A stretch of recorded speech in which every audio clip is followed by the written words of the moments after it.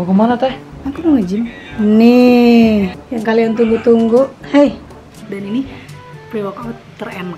Alhamdulillah Putri seneng banget ya buat Ibu Nenden sama Kak Siva pada nge-gym. Tujuan Putri itu baik gitu loh, karena pengen semua orang tuh sehat-sehat aja. Dan guys, betapa baiknya Kak Sandi. Aku baru mulai disiksa.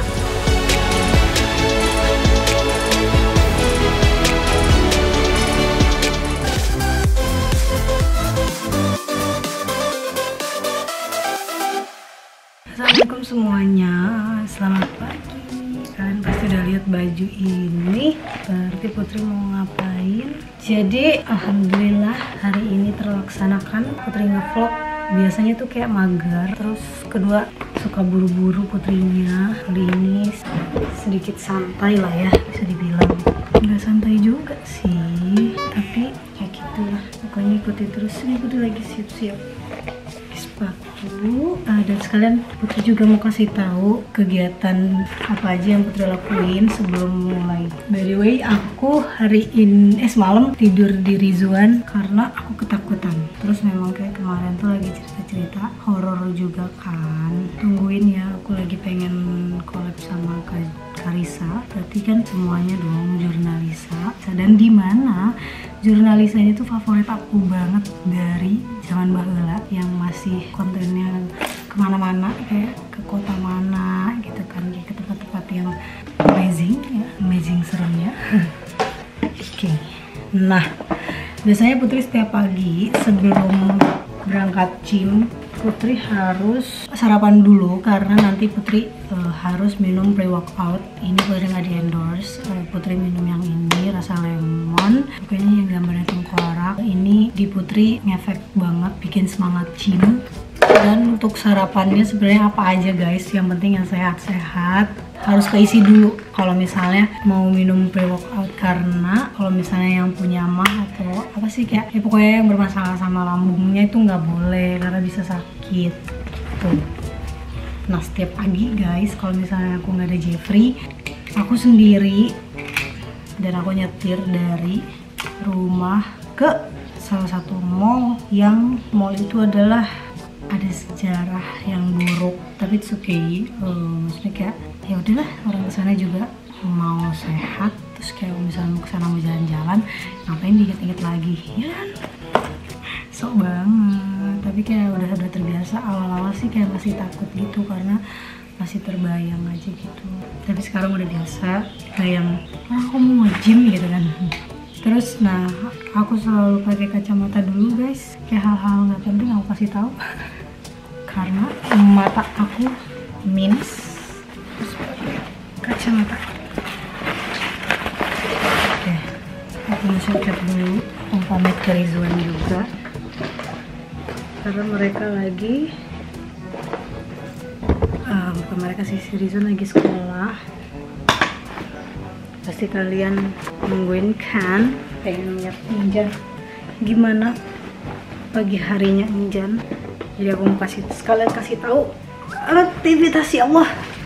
Badanku lumayan berasa.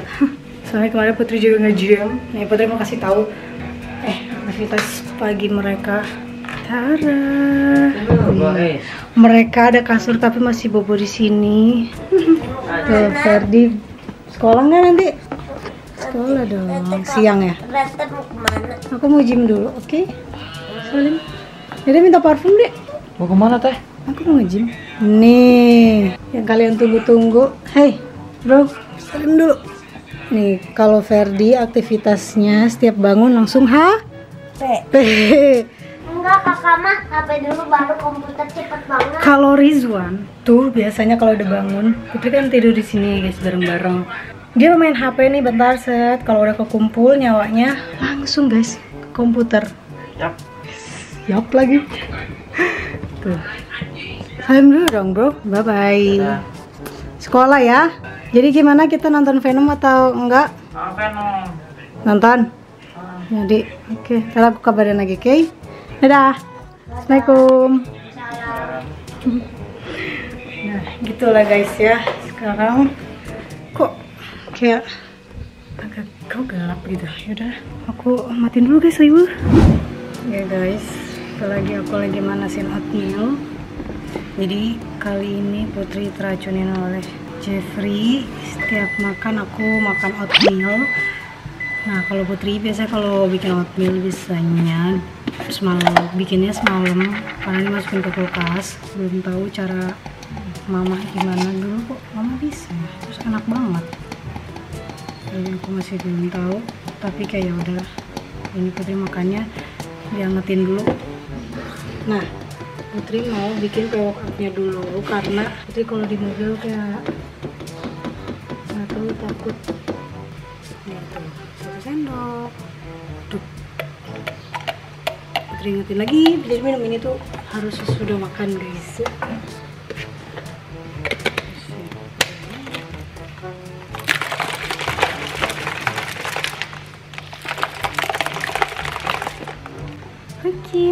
udah jadi. Ini walaupun bentuknya kayak begini, tapi ini enak banget. Ini rasa blueberry pisang. Aku bikin sendiri. Kalian pengen resepnya? Aduh, resep. Pengen coba juga? Boleh, tapi nanti ya guys. Biasanya guys, kalau buru-buru untuk makanan eh sarapannya buat perut keisi itu biasanya uh, ke McD ya junk food. Tapi kayak ya udahlah ya soalnya kayak buat isi aja soalnya kan di situ ada menu breakfast kan.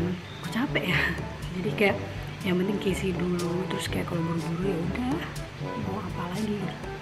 Nah, ada blueberry utuhnya juga. Ada pisang utuhnya juga. Padahal ini bentuknya awalnya cantik banget. Warna warna ungunya tuh kayak ungu banget kayak diidein gitu tadi karena ada Milo aku kasih Milo dikit kalau biasanya aku selamat balik. Aku bikinin buat ayam sama Jeffrey. Aku selalu kasih Milo karena itu kayak enak banget. Nah, tapi kali ini aku kayak nggak mau manis banget karena sebenarnya dari pisangnya pun udah kerasa tapi kayak enak aja sih kalau buat aku. Karena Milo kalau diapain tuh maksudnya kayak enak-enak aja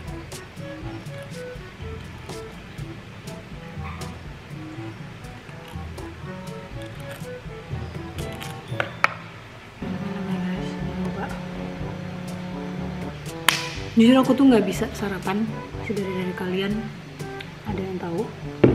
Tapi kayak diharuskan karena aku minum pre-workout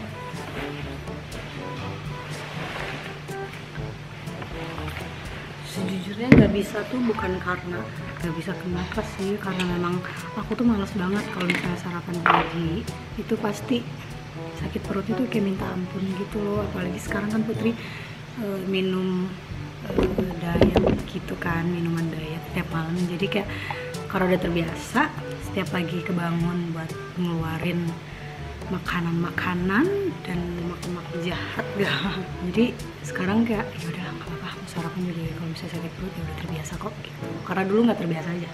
Hmm, manis banget. Kalian pengen tahu rasanya. Ini karena lemon. Ada tuh kayak minuman apa ya? Sama banget. Dan ini pre-workout terenak. Dari yang Putri udah cobain dua yang lainnya itu pun punya Jeffrey guys. Ini aku beli sendiri.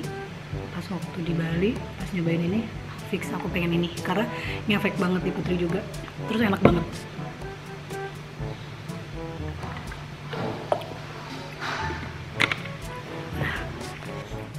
Oke, sekarang kita mau berangkat. Aku pasti telat. Ya, ada mau mobil. Mang, mau keluar.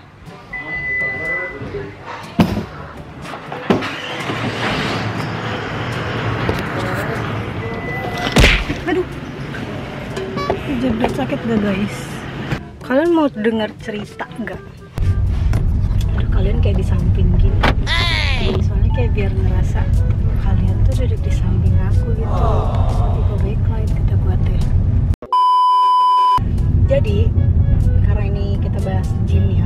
Kemarin tuh alhamdulillah Putri seneng banget ya buat Ibu Nenden sama Kak Siva pada nge-gym karena Putri selalu bilangin gitu kan. Bukan mereka aja tapi semua orang. Bukan karena Putri tujuan Putri itu baik gitu loh. Karena pengen semua orang tuh sehat-sehat aja.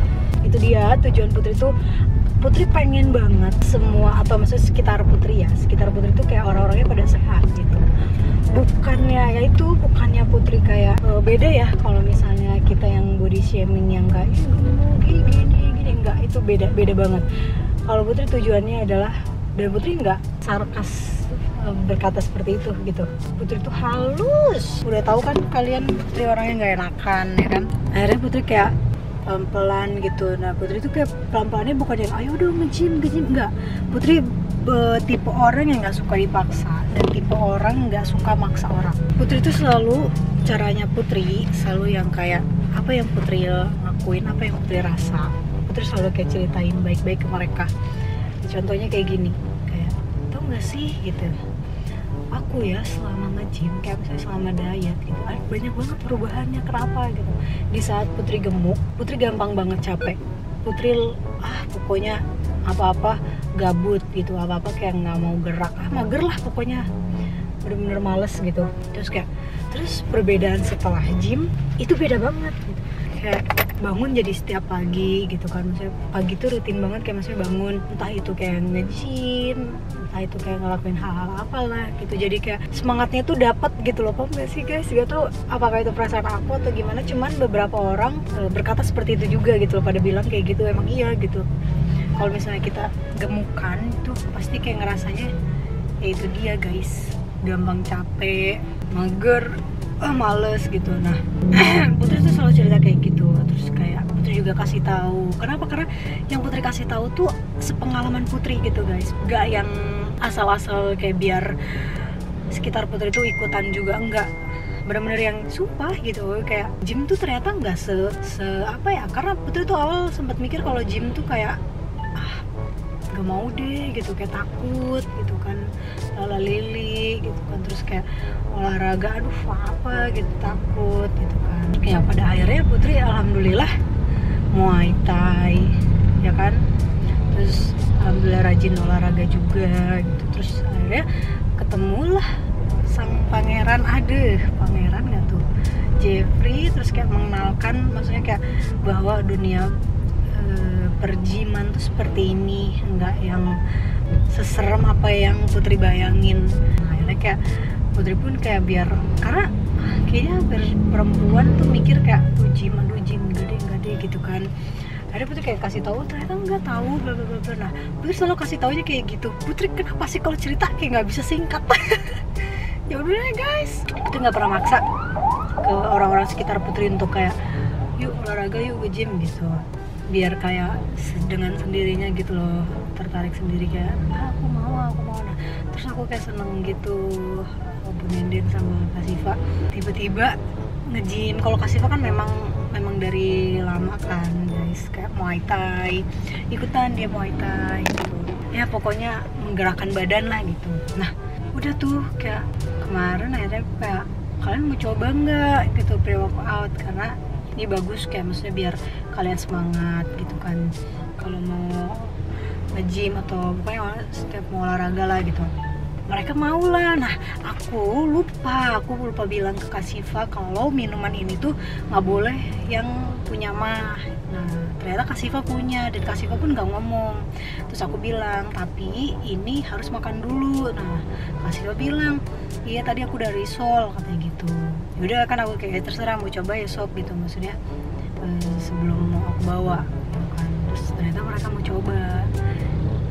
Eh pas aku pergi ternyata Kasifa sakit di paru apa di iya perutnya. Terus ternyata dia bilang iya aku lupa aku punya asam lambung kayak merasa bersalah banget. Cuman kan aku juga udah bilang kan harus makan dulu. Terus cuman salahnya aku nggak bilang eh, nggak boleh yang punya mah dan itu aku lupa banget gitu. Aku misalnya nggak nggak apa nggak bilang. Dan Kasifa pun ya itu kenapa nggak nanya gitu? Emang ini boleh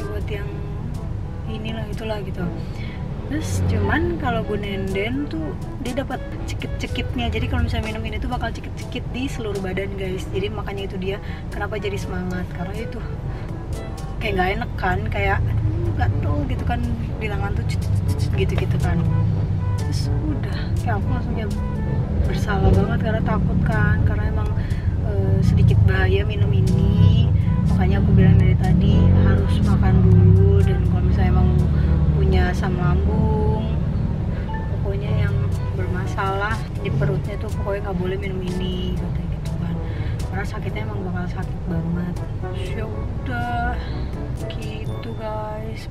Dengan tujuan Putri ngevlog ini juga kayak pengen ngasih semangat juga gitu loh kayak kalian-kalian kalian nggak harus eh, kayak Putri maksudnya kayak kita harus nge-gym gitu kan ke tempat-tempat. Enggak enggak enggak sebenarnya di rumah aja tuh bisa banget gitu loh. Yang penting tuh sebenarnya kita gerak.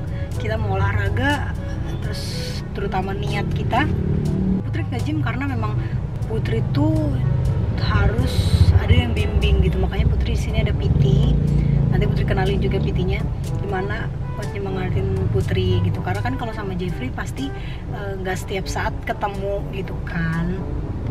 Dan eh, nanti susah gitu kan waktunya kalau misalnya sama Jeffrey takutnya malah mut-mutan. Nih paham kan? Kalau misalnya kalau sama pacar kadang kayak udah dong saya gitu kan. Tapi kalau sama sama PT itu udah kayak aduh. Terus juga ayo bisa ayo bisa. Jadi kakunya yang tuh kan guys tanganku udah mulai cekit-cekit. Iya gitu. Jadi kayak buat kalian juga yuk. Ah macet lagi. Kesel biar kayak ya udah semangat yuk gitu. Karena gini kapan lagi gitu loh. Sebelum daripada di nanti nanti apalagi yang punya berat badan ya hmm, bisa dibilang masalah lah ya. Karena nggak sehat juga gitu guys. Karena Putri itu dulu waktu di berat 68 jujur kalau misalnya kalian pengen tahu dulu aku sakit-sakitan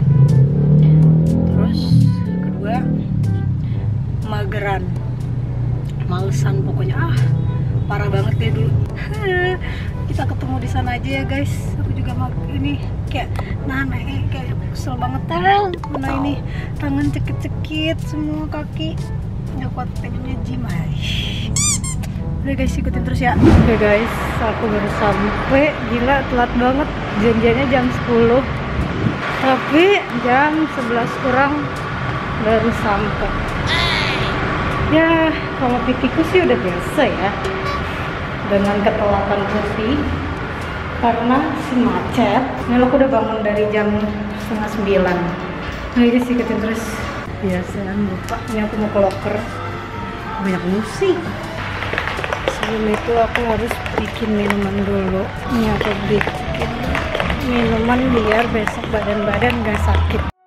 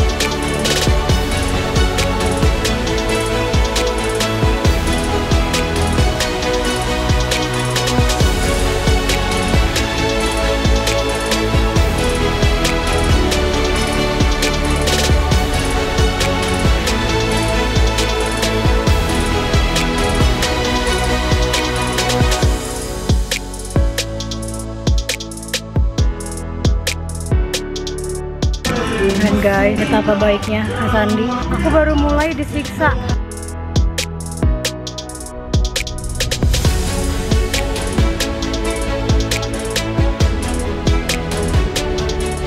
Iya, kita liatin aja lah.